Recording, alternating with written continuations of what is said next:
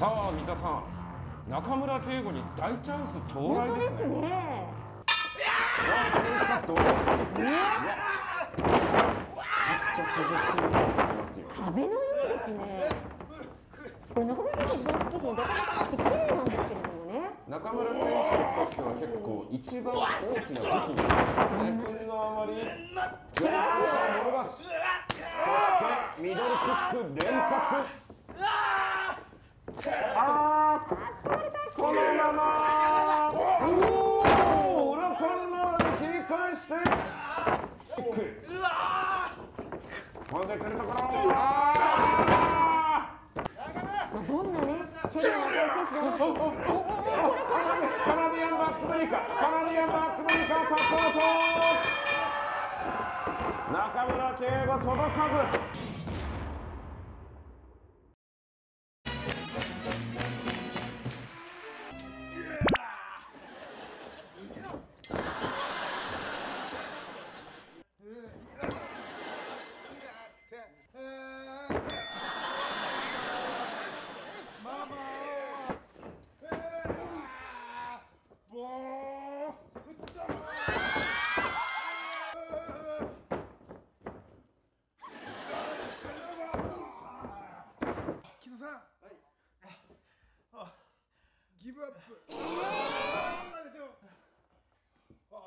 あギブアップする前に実は俺昨日徹夜で昔話考えてきたんだけどそれだけやらせてもらっていいか創作昔話。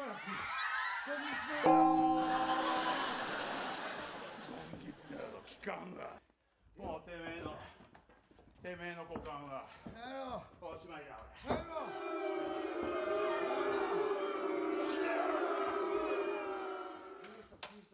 う。なんで？急所。え？急所ばっか攻撃する反則だえ反則なの？反則だ。初めて知った。反則だったの？急所反則。初めて早く言ってよもっと。起きるおおおおお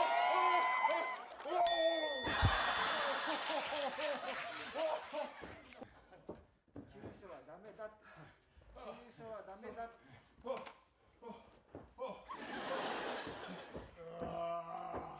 ダメだあギャルのパンティーお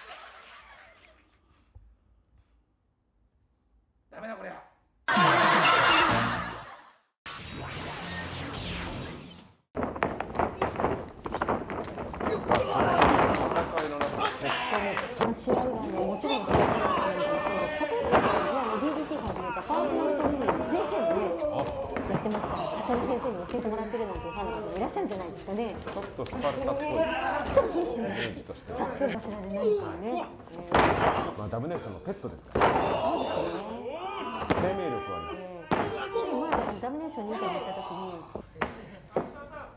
あ赤コーナーサイドに吉村選手がじれてますね。だが。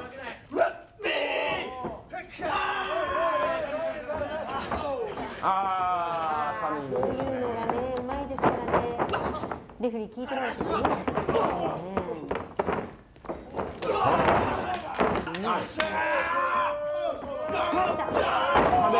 タッグチャンピオンの登場です純戦車吉村直美。いいですね、この吉村選手の太ももを見ると、こう、心が安らぎますね。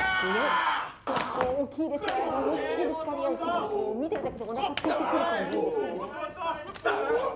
吉村は逆水ポーリーはエルボーおーポーリーハンマー振り回していきます脳を揺らされた吉村しかし逆水さっきのオカだわーしませんマンドポーリーの逆襲マリアットだが倒れないラス村持っていくかわして安村虹の一発ポーリー2で。返すおっきますねこいけるか。いけるか。いける。あおードルラホールパイルドライバー体重がある分ポーリーこれは厳しい。カウント3勝ったのは吉村直美。さあゴングです。場外カウントなしロープエスケープなし反則裁定なし。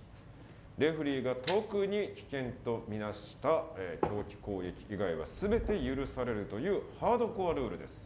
ハードコアの痛みに対してどうリアクションするかそうねですよね。あーこれはひどいですよ。トップちゃんとですよ。あのー、竹刀よりもかかとで踏んでる方の方がハードコアですね。ですね。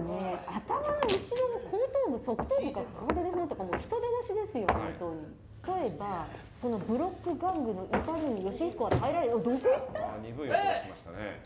どうせしこら戻ってこられるかこれを捕まえに行ってゴミ箱に入れてやるよこれああひどいそんな持ち方することないじゃないですかねはい終わり高いからといってギブアップしろこの野郎相当な仕事ですよギブアップどうやらしてないんだまあ私も今まで吉彦がギブアップといったシーンを見たことはありません見たことないですよねああ動けてねこの野郎いや全く反撃できませんよそうですねここでああ飛びついて勝俣が捕獲されたまさか。グーですグー。おおでこがひしゃげましたよ。ちょっとトコタンっぽいですね。ええええそうですね。まあーこれさあここからフランケンシュタイナーで切り返された。やっぱりこれねハードコアアイテムをね先に持ち出した方がねピンチになるんですよほらはい戻った。戻った。あー勝俣が逆襲なのかそれともおーアキソル勝俣選手が回した。あれおた。竹下だあら入ってきました。よまた。竹下が出てきた。いやー最近のねこの吉彦と竹下は乱入したりされたりの繰り返しですね。ここまでねそんなに向きないもんかと思いますけれどもね。オッケーオッケーオッケー。吉彦ブロックの上にパワーボム。うわーこの高さオールアウトのファンタスティックフリップは壮絶に自爆。おーおおおおお乗り越しましたよ。竹下を場外に落としてここで改めて6次元サポート。まあ、竹下ね、あの勝俣選手もそうですけど、吉彦もあえて上半身をあらわにしてね、こう覚悟を見せてるんですかね。リング検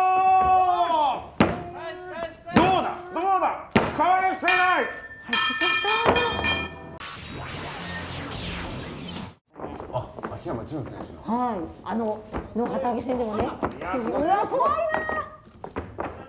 この手、足、一つ一つですよね。いや元を正せばですね秋山選手はですねプロレス界にすごいワンスでガンガン鍛えられた男です全く渡瀬瑞希を上にさせることはありません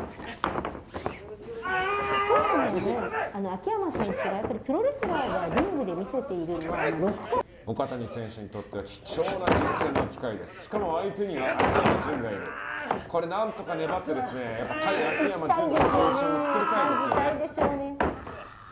デビュー多分まだ3戦かねそれぐらいしかやってないと思うんですよね。そこで秋山純とね対戦。このカードもねなぜこの2人なのかっていうのもね、はいえー面白いなと思いますよね。そう肩にこういう2人を相手に当てて。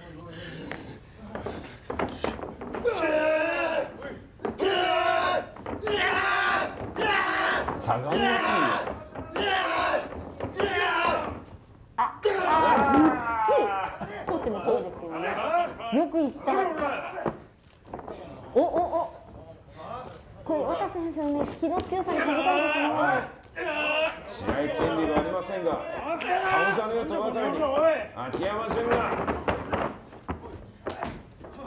いやこういお、負けない、負けない、いいですね。こういうところ見たいですよ、渡瀬選手のこういうのが見たい。いやね絶対恐怖心があると思うんですよ渡瀬選手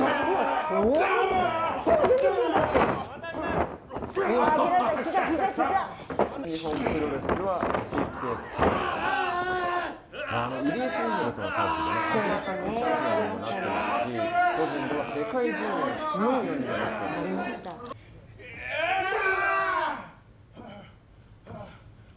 さあロープに乗るカウンターのブート。だが渡瀬も止まりません。止まれません。ブー。ト俺見ろほらあ行けほらかわしてエルボー岡谷秀樹これねもうボディースラムの一発でもないとほしいですね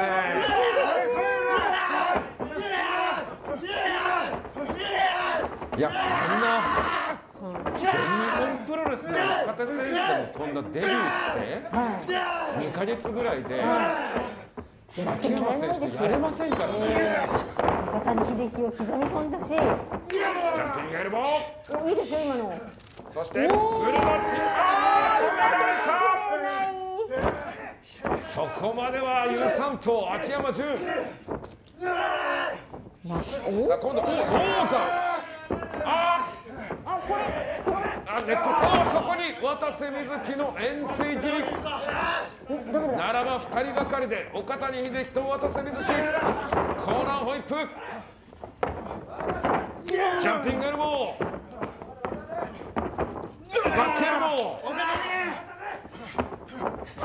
そして投げるか投げるか投げるか。投げさせない。あーフロントレスしまってしまうしかし秋山は外さない。あ外した。たさあだがここからが秋山純の真骨頂あもう完全に力が逆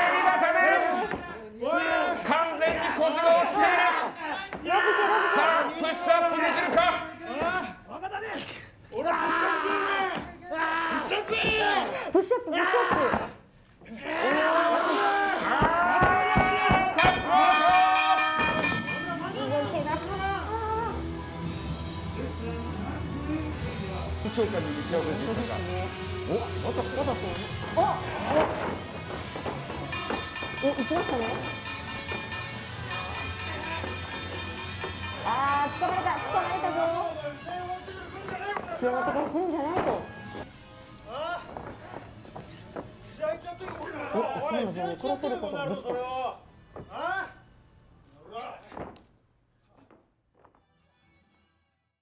ナイフですよ。秋山さなんじゃねえこの野郎。秋山って言えバカ野郎。ん秋山聞け秋山おい戻ってこいよ秋山。ゲストコーチなんだろ。おい俺にシングルで直接コーチングしてくれよ。おいシングルを組め。四天王プロレスに触れることを楽しみにして俺は今ゾクゾクしてるこんなね、はいえーかなり悪いこの青いことじゃない時にはねやったりもし。てますしそして何よりもこの気の強さです。赤井崎選手も気の強さには。というねああ田中に一撃。いや前回の勝ちましてもう技では勝負を手にしたので、今度は徹底的に痛めつけよう5月にこの TV 賞赤井崎7番勝負6番目の相手です今輝きを放っています。いやー。エルボーを叩き込むまだ行くまだ行くそして顔面へ叩き込む。前回のタッグマッチでもねあのビッグホイッツはねあの逆に考えればですよその顔に傷を作ることを全く恐れていないということですよ、むしろ勲章だと思っています。えああ今体にもー、ものすごいのもう技がですね。お張り手やり返す。身長差があっても届きますよ。届きますね。ルートをかわして。叩き込んだ赤い先大丈夫かな引き上げますかね？膝ギリギリやってますよ肘で。ああまだ痛みに負けない。かえってその痛みが赤い。先にとっては勝つとなったか。ちょっとこれ長い時間取らわれおあダメか？ダメか？まだダメですね。あその腕をさらに抑え込んでもう赤い先ここれで決めるか。レフリーストップもありますよ。どうする？どうする？おおなんと！フィッシャーマンズからのロコモーションシティフィッシャーマンズスープレックスホールド。よケツアルコールはトライしていませんまだ入ってないですもんね今回それを狙っている素振りはまだない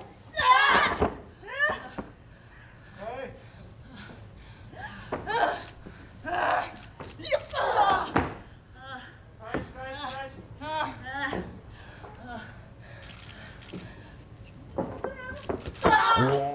ダーのカウンターのエンズイさあ来たぞ来たぞ来たぞジャーマンナゲットらしい長い赤い先も立ち上がるよく見ているジャーマン2発目今度はブリッジボールの下まさかまさかおおそして新人賞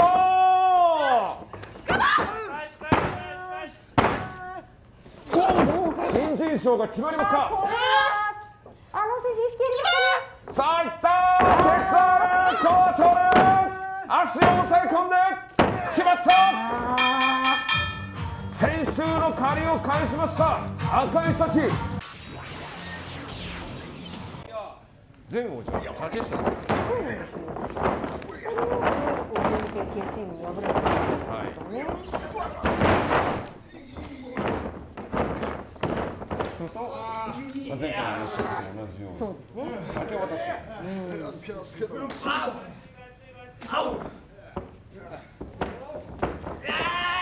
おお髪の毛を掴んで反則です足を掴んでああーいいですね出せません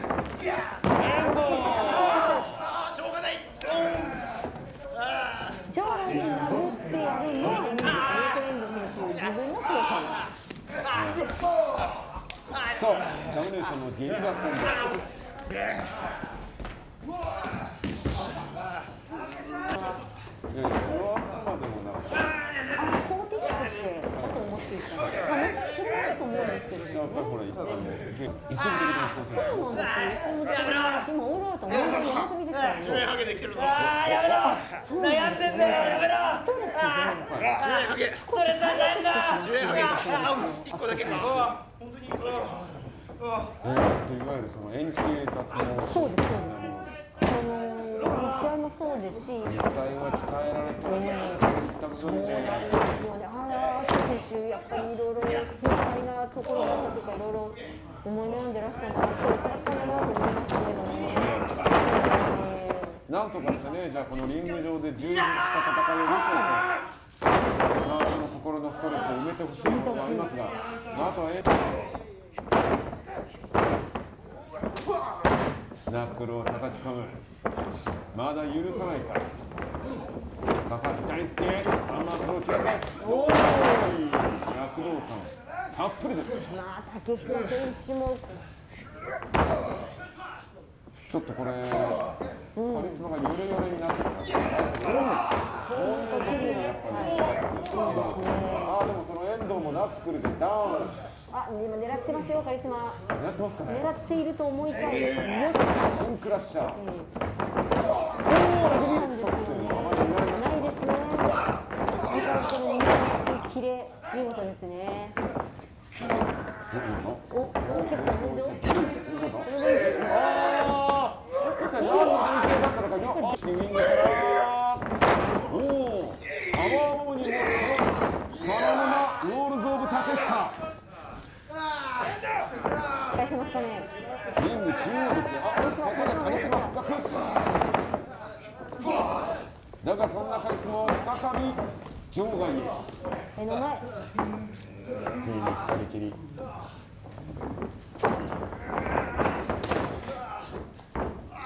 おう。今のはいいブースです。だがやり返して。ああっと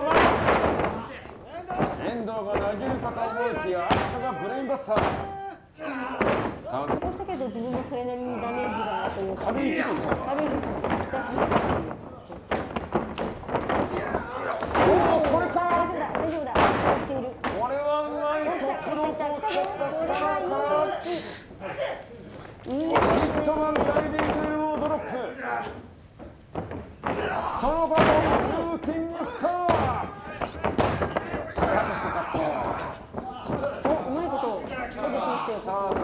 さんがいい流れを作った。やっと思いにその遠藤哲也と二人きりの忍者だがあっと危うし竹下ですかおーセーフ竹下カリスマ上さんやられてしまったじゃないですかスラッシャーですかさあこれ排除されましたからカリスマはもう助けに来てくれないポップアップニーアッパーからさあこれはうんバックにタッチハンドスピンゴールキック罠でした罠でした打たれながらもアンクルホールドさらにバああ腰をックボーンエルボーからダブルアームバックブリーカー腰だ腰ださあ来たおくるりと回り込んであった危ないあったあっ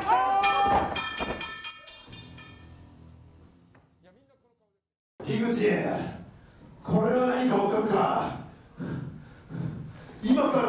今から？このいつでもどこでも挑戦権を使っててめえの持ってるその刀に挑戦してやる。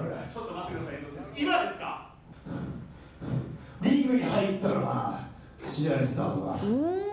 おいややっぱりそうですね。しかも今のね痛いばー。い井口選手はリングシューズ履いてないです。よいやそれもう見えちゃってますよ大丈夫ですねこのままじゃあもう試合が終わったので近くにいたのが何か呼び出されて出てきてしまっただって、えー、力説していたことがありました解説で体が温まってるうちにやる方が有利だとなるほどそれは増田さん個人の感想かもしれません。ないですけれどもね、まあ、十分温まっている、しかしダメージは遠藤選手と、ダメージはなくて、ただ体を冷えている、それが樋口選手。おあーでもね今の樋口選手は常在戦場チャレンジしてくるなら受けて先手と超素晴らしい乗り越えて、溶け込み広な舞台、アピールできる舞台。その一発逆転を今遠藤哲也は狙っているのでしょう。だが井口和忠も負けられない理由があります。手放せない理由があります。そう簡単に取られてしまうかという。さあカナディアンここから5点くるか。まずはカナディアンでユッセンあ腰だ。腰が。あーしかも足も掴まれて、なんとか逃れていくあこれもスラミングかもうやること？は何でもやる。何やっと？ハンドスプリングオーヘッドキック効いてますかね。ラリアットも読まれた外からカナディアンデストロイヤーちょっと足腰が重くて樋口川だすごいドクターこれを裏カンナで返したそれを切り返すエビ固め樋口さあどっちださあ、